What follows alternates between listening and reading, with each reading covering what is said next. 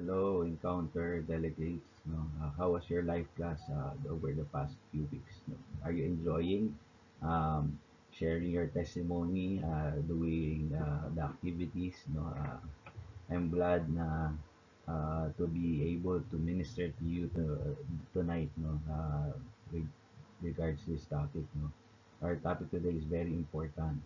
We are the salt of the earth. No, sabihin mo nga sa sarili mo, I am the salt of the earth as a salt of the earth, no, uh, uh, ikaw ang nagbibigay ng flavor and lasa sa mundo. No? But let's pray right now before we start. Lord, we thank you, Lord, for this privilege, Lord, of being a salt of the earth, Lord.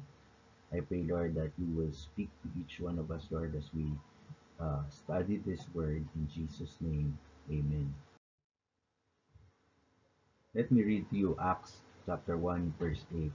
But you will receive power when the Holy Spirit has come upon you, and you will be my witnesses in Jerusalem, in all Judea, and Samaria, and to the end of the earth. Alam nyo, you have received power of the Holy Spirit when you were baptized in the Spirit, when you received Jesus Christ in your life, when you were empowered by the Holy Spirit. Sabi niya, when you receive power, you will be my witnesses. You are a witness.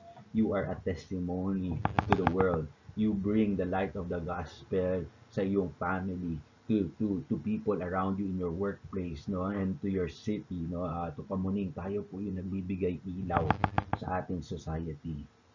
What what does it mean to be a witness? Alam ba tinatawag ni Jesus? Tinatawag tayo lahat ni Jesus Christ as witnesses. A witness is a person who has experienced something and he is testifying about this something. Or nakita niya or na-witness niya isang bagay na tinetestify niya. Lahat kayo over this uh, life class even yung start up your new life no nakilala niyo unti-unti si Jesus. Yung iba sa inyo na experience niyo si Jesus in a supernatural way in a different way. We all have different uh, stories about how we met Jesus Christ. And the good news is that it doesn't stay there you are a witness of Christ. Ikaw ang magdadala ng word ni Christ to people around you.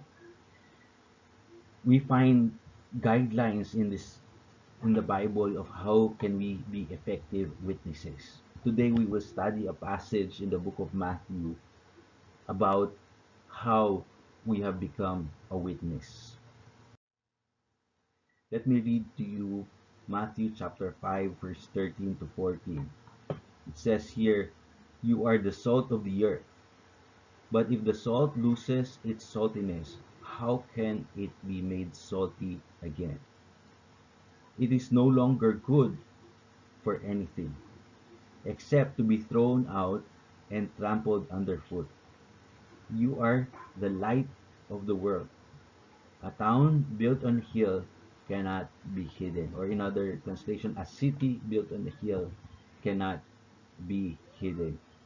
Sino sa inyo ang nagluluto? Sino sa inyo pag nagluto nakakalimutan nyo maglagay ng asin? Na di ko makalimutan ng bata ko na yung ate ko no at saka yung sumunod sa akin pag nagluto sila ng nilaga walang asin. Uh, pag walang asin ng nilaga mahirap kainin uh, because ang asin ang nagdadala ng flavor sa ating pagkain. Tignan natin ang dalawang bagay na nagagawa ng asin. The salt has two main purposes. Number one, the salt gives flavor.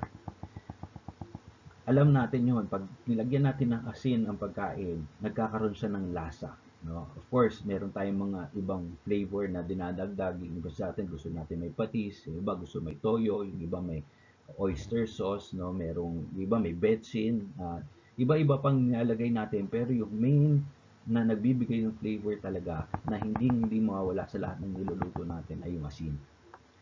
Alam mo ba na ikaw ay parang asin? Sabi ni Jesus dito sa binasa natin, you are the salt of the earth. You can bring flavor and make a difference in the place of influence God has placed you. Kung saan ka nilagay ni Lord, kung saan trabaho ka nilagay ni Lord, kung saan pamilya ka nilagay ni Lord, kung saan neighborhood ka dinala ni Lord, you can bring flavor there. Ngayon po, punong-puno ng, ng kadiliman yung mundo natin, punong-puno ng discouragement, punong-puno ng uh, patayan, kaliwat kanan sa balita, araw-araw yata merong namamatay or nagpapatayan. But because nawawala yung flavor because of sin. And tayo bilang Kristiyano, sabi ni Jesus dito, you are the salt that will bring taste into this world. Pangalawa pong ginagawa ng asin ay yung preservation. You can prevent corruption in this world by spreading the light of the gospel. Ang asin, pag nilalagay nila yun sa probinsya, sa ibang probinsya, no, uh, nilalagay nila yun sa, alam ko, sa mountain province, nilalagay nila sa karni para tumagal ng meron silang 5 years, I don't know kung more than that, no? Uh, sa Ilocos naman, meron kami tinatawag na bagnit no uh, no uh, at yung bagnet na yon nilalagyan din ng asin. Although yung bagnet ay piniprito no uh, sa Pampanga meron tinatawag na buro no. Merong burong mangga merong burong isda merong burong uh, uh, kamyas no. Iba-ibang klase ng buro. Alam mo ang isang common flavor ng mga buro na yon ay asin. Kasi nung unang panahon wala silang ref So, ang pinaka-common way nila na mapahaba ang buhay ng pagkain ay asin. Alam mo ba na ikaw rin, sabi niya dito, bilang asin, you can prevent corruption in this world. Minsan napo-frustrate tayo bakit ang sama-sama ng mundo. Ang dami-daming hindi magagandang nangyari. Pero have you asked yourself, what can I do about it? Alam nyo, you can do something about it because sabi ni Jesus, you are the salt of the earth bilang salt of the earth, tayo yung may kakayanan sa pagsaspread natin ng gospel, ng word ni Christ. Pwede na tayo magamit ni God to be able to preserve righteousness, to preserve the, the kingdom of God, to, to prevent yung paglaganap ng uh, kingdom ni Satan sa pagpapalaganap ng kingdom ni God. Amen. So ngayon, you have this question. Paano nga ba gumagana tong G12 vision? Ngayon po kasi tayo as people of grace, we are part of a G12 vision. No? Etong G12 vision, ang ibig sabihin ito, government of 12. So, nakuha natin to sa International Charismatic Mission at ito yung pinactice natin na since 2006 pa yata sa People of Grace. And because of this, we have been able to raise leaders and multiply leaders. Meron dalawang concept na gusto ko maisip natin dito sa vision na to. Unang-una is yung tinatawag nating teams of 12. Ang teams of 12 ay we believe that we are able to reproduce the character of Christ in 12 people. No? Uh, as Jesus did with his disciples, we will be able to greatly impact our nation, multiplying the numbers of disciples exponentially. No, si Jesus, um, nagkaroon siya ng 12 disciples. Si, uh, si Moses, one day, nakita siya nung uh, nung father-in-law niya at sab nakita siya na ang dami-dami pumipila sa kanya lumalapit at pagod na pagod siya. Isang milyon yung hawak niyang tao noon sa Israel. At lahat lumalapit sa kanya. At sabi sa kanya ng father-in-law niya hindi maganda tong ginagawa mo. Kailangan mag-assign ka ng leader ng pang 10 leader ng pang 50 leader ng pang 100 no? I-divide mo ang leadership mo. And ito pong team of 12 this is a way of uh, for us to be able to preach and disciple the church by 12s. Kasi po ako, lumaki ako dito sa People of Grace uh, bilang isang Kristiyano, no? Uh, matagal na po namin naabot yung uh, isang daan, dalawang daan, tatlong daan na members ng People of Grace. Pero until na dumating itong G12 vision, tsaka pa lang natin napastoran talaga ang bawat isang tao. Kasi nung time na yon, uh, ang superhero si pastor So, pag kailangan ng burol, si pastor. Pag kailangan ng kasal, si pastor. Pag kailangan ng binyag, si pastor. No? Pag kailangan ng i-repair sa simbahan, si pastor. Uh, pag kailangan ng uh, counseling sa mag-asawa, si pastor. Pag kailangan ng magpa- counseling ng magpapakasal, si pastor. Pag mag-iwalay mag-asawa, si pastor. lahat po ng problema na tumatakbo sa simbahan si pastor. Sa dami po ng membro natin na kahit isang daan lang po, hindi talaga natin mamiministeran lahat. But because of the G12 vision, uh, nakakapagtulungan tayo makapag-pastor individually sa members ng People of Grace. Pangalawa po is yung tinatawag nating cell groups. Cell groups is a small group of people no, uh, that gathers weekly to support, strengthen, encourage, and build relationship with one another as they grow in the knowledge of the Word of God. And ito rin yung place na nagdadala tayo ng mga bagong tao na makakilala kay Jesus Christ. Alam po yung value ng cell group is it is really an, an accountability group. Diyan po yung uh, yung grupo na pwede tayo maging open sa isa't isa, no? Uh, parang nga pagka nagbalanse ka ng isang pirasong papel sa isang mong daliri, uh, ang hirap po, mahirap. Nahuhulog-hulog yan. No? Ah. So, uh, pero pagka ginamit mo yung lima mong daliri, mas madali. No? Ganun po yung concept ng cell group. Ang cell group is hindi necessarily mo sinusolve yung problema, pero meron kang bukas na pintuan kung saan pwede ka mag-open ng nararamdaman mo, ng feelings mo, ng pinagdadaanan mo, ng vision mo, ng dreams mo, no? Diyan yung small group na open yan every week para magkaroon tayo ng opportunity mapag-pray ng isa't isa no at mapakinggan ng isa't isa. So, napaka-importante po 'yan kasi yung malaking church natin na sabihin natin 300 plus, lumiliit tayo sa 5, 6, 7, yung iba sa atin 12 na. Lumiliit tayo at yung maliit na cell group na yon, doon nagkakaroon tayo ng deeper relationship sa isa't isa. Amen?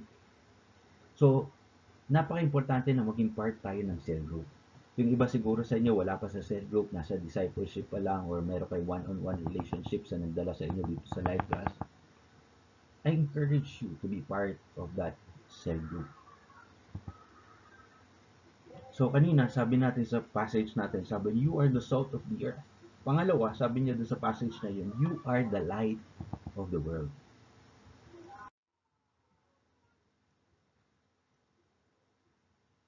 So we are the light of the world. Alam niyo, yung true light is si Jesus Christ. And tinanggap natin si Jesus Christ sa heart natin bilang Panginoon at tagapagligtas. Nung tinanggap natin siya bilang Panginoon at tagapagligtas, nagkaroon siya ng ilaw sa atin sa pamamagitan natin. Tayo yung nagdadala ng light na yon at nagbibigay ng shining light niya through the power of the Holy Spirit sa mga tao sa paligid natin. Imagine mo yung mundo punong-puno ng darkness, ng kasalanan, kaliwat kanan But because of the light of the gospel, we bring hope, we bring inspiration to people.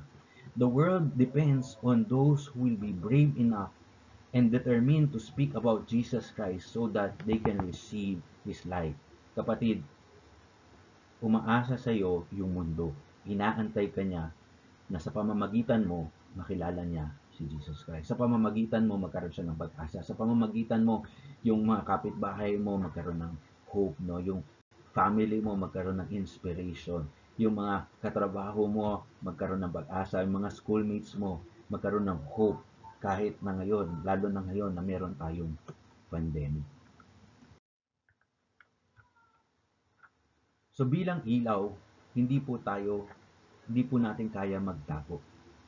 Ang isang ilaw, hindi mo matatago. Parang ang kandila, pag tinago mo, bali wala, walang saysay siya we cannot be ashamed yung desisyon natin na tanggapin si Christ bilang Panginoon at tagapagligtas. Kasi pag kinahiyaan natin yon, dini actually hindi yung sarili natin na, na uh, pinipreserve lang natin, kundi na, na hindi natin nabibigyan ng pagkakataon yung mga tao na pag narinig nila yung testimony natin, narinig nila yung ginawa ni Jesus sa life natin, alam mo mararanasan nila yung pag-ibig ng Diyos, mararanasan nila yung yung plano ni God para sa life nila.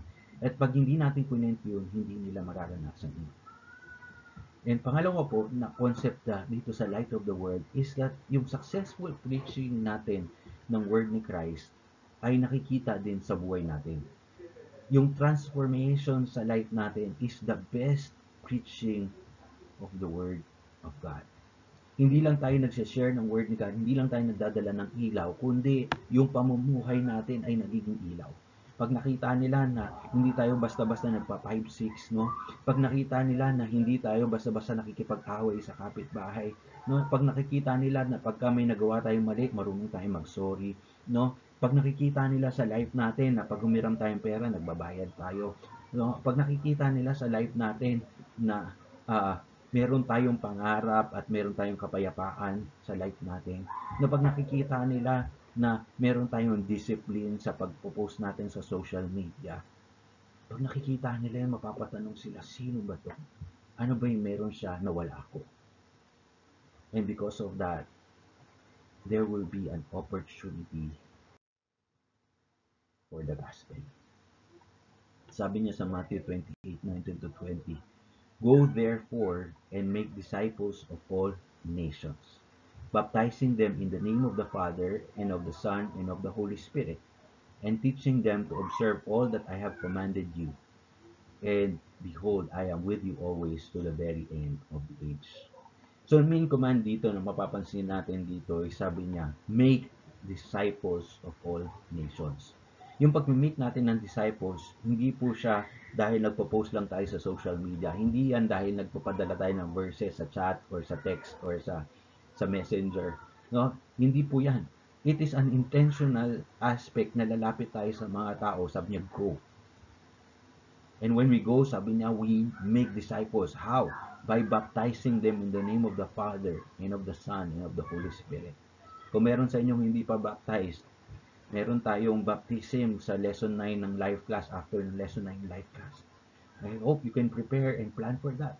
No? Because that's part of the command of Jesus to us. That we make you disciples by going to you and by baptizing you in the name of the Father and of the Son and of the Holy Spirit. And dito sa verse 20, and teaching them to observe everything that I have commanded you. Kaya po namin tinuturo to kasi yan yung tinuro sa amin. Itong tinuro sa amin, tinuturo namin sa inyo. Yung life class, tinuro sa amin yung mga principles about the gospel, about salvation, about the word of God.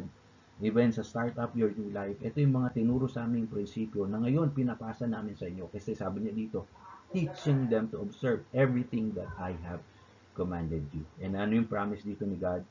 Ni Jesus sabi niya, And behold, I am with you always to the very end of age.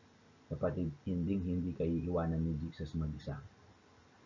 Maraming tao na humingi ng tulong sa atin o nag-uutos sa atin pero pinababayaan tayo. Pero si Jesus sabi niya, I am with you always to the very end of age. Alam niyo, itong MCI Colombia sa good testimony na naging ilaw sila sa mundo. No? Nagumpisa ito sa bahay ni Pastor Cesar Castellanos na merong noong 1984, 8 na tao lang sila at pinag-pray niya at na-receive niya yung vision kung paano ba talaga na ma-preserve yung fruit, paano makikip sila, matutulungan sila lumago sa kanilang relationship with God. Na ngayon, ang nangyari sa kanila ay meron na silang 30,000 cell uh, attendance every Sunday. Meron silang 7,400 cells at meron silang 100 church plants sa Colombia, 49 internationally, at meron silang network of 650 churches worldwide. Because hindi sila na-content doon sa ilaw na nasa kanila, kinalat nila. Alam mo, pwede lumawak yung influence mo. And the best news is that God is calling you today, regardless of your past, regardless of your circumstances, you can be a part of this dream to reach many people for Jesus Christ. Alam nyo, natuwa ko nung napakinggan ko yung mga testimony ninyo. Pwede nyo magamit yung testimony na yun. It's a starting point. You can use it and share it to your parents, no? To share it to your siblings, no? I-share mo sa mga kaibigan mo, sa mga katrabaho mo, schoolmate mo. I-share mo lang yung testimony na yun. Pwede mo i-share yan sa chat, no? Padala mo sa chat and then tanong mo, um, how, what do you think about this? Can I call you? No, you can start there. No, you can start there and ask help sa yun sa leader. How can we be able to do this vision together? Amen. Tandaan po natin to. Sabayan niyo ako. I am the salt of the earth that brings flavor and preservation. Pangalawa, sabayan niyo ako. I am the light of the world the city on a hill that cannot be hidden. Alam ba, coming to this encounter was the best decision of your life. Let me pray for you. Lord, salamat Lord sa pagkakataon na to, sa privilege na to na makapag-gather kami together online, Lord, kahit na may pandemic, kahit na hiwa-hiwalay kami, Lord, uh, into 10 groups, Lord. We pray, Lord, that you will just minister life and peace and joy and satisfaction into each one of us, Lord. Salamat, Lord, sa kabutihan mo sa bawat isa sa amin. Salamat sa pag-ibig mo sa bawat isa sa amin. We pray, Lord, that you will help us, Lord, to multiply, to expand, and to be a light and a salt into the earth. In Jesus' name, amen. God bless you all. Have a wonderful weekend. God bless.